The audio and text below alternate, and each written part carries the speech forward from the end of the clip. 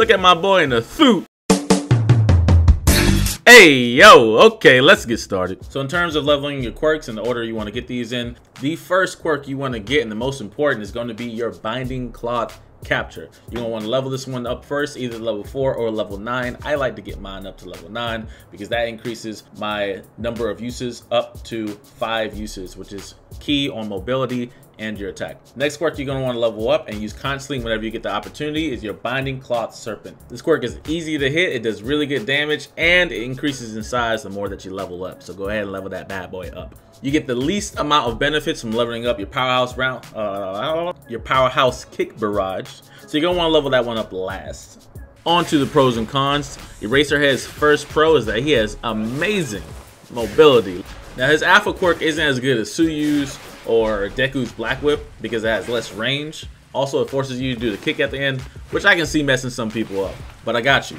After you latch onto a building or a wall with your first quirk, you're just going to follow up with a powerhouse kick and you're going to be able to keep your mobility going.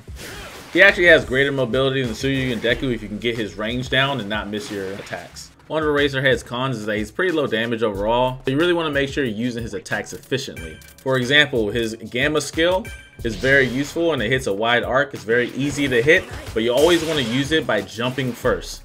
This is going to take away about a half second delay that if you were just to stand there and use it on the ground. Now when using his binding cloth, you have two different ways to use it. You have it on the ground and when you're jumping. When you're jumping, of course, you pull yourself in. When you're on the ground, you pull the enemy into you. If you double click, you pull the enemy in immediately. If you click once, there's a delay, which allows your team some hits before you pull them in. So the delayed alpha quirk mixed in with his special action allows for great combo potential. We're gonna give that as a pro. As for his powerhouse kick, it doesn't really do good damage, so I just like to save it for mobility and use it to get around the map or use it for escape. So when playing offensively, I'd say you really want to focus on using your ground alpha more than anything because it's less delay and a significantly less chance that you'll be punished like if you were to use your jumping alpha attack and you would pull yourself into the opponent, it's more likely you'll get attacked. Another con is the range of all his skills kind of sucks, so make sure you go into training or something and test to make sure you understand how far all of his attacks go. Senpai would never hurt you. You also want to use your jump gamma as often as you can because that is going to be your heavy damage dealer and it's super easy to hit people with it. Now Aizawa's special action is very complicated so I'm to try to make this as simple as possible. The special action has a very considerable range but it's not infinite. After doing a series of tests it seems like the special action goes slightly further than Deku's blast. I couldn't see the distance so I had to get a friend to let me know whether or not it was actually affecting Ochako or not and from this distance it does not affect Ochako at all. But if I take a few steps forward, then it will start affecting. Yeah, you got it there. Aside from this, it works still mostly just like the show. As long as you have line of sight, it should affect the person. If you break that line of sight after you've gotten it, the person will still be affected as long as you don't end your special action or you blink. Another tip is that you cannot block special actions with this skill. You can only block things that are considered quirks. So for example, you cannot block Mount Lady's Super. But it can interrupt things like All Might's Tornado or even Kendo's Shield. So it can interrupt continuous quirks, but it can't interrupt one-time activated quirks, such as Tsuyu's invisibility.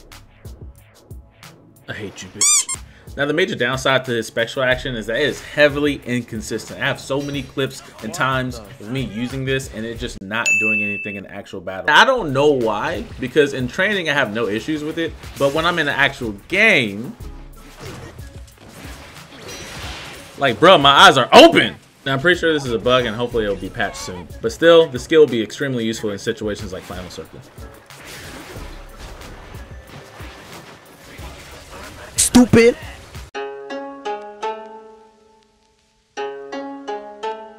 This Hightowa army yes, gaming sir! Yo, 1K subscribers is crazy. I don't even know how to describe. The energy y'all got me feeling right now. I'm cheesing. You see me cheesing, bro. This is something I've been aiming for for a really long time. All I can do is say thank y'all. Thank y'all so much, bro. I tried really hard to get this video pushed out as fast as I could. On the next video, we will be doing a $50 Amazon card giveaway. So make sure you like, make sure you subscribe, make sure you see that next video and join that giveaway. It's gonna be a thank you to you all for this 1,000 subscribers. I heavily appreciate it. I'm gonna catch y'all later. It's your boy HT. We out.